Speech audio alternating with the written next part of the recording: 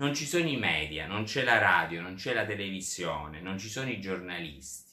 È lui la radio, è lui la televisione, è lui il giornalista, è lui il blogger, è lui lo spin doctor. In alcuni casi è lui che interpreta il cittadino, l'elettore medio che pone le domande al post politico e ottiene risposte da questo. Il libro in questione è Catemoto De Luca, la comunicazione politica 3.0 del sindaco social di Messina.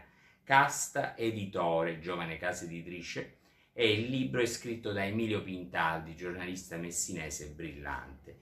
La prefazione di Francesco Pira, docente universitario.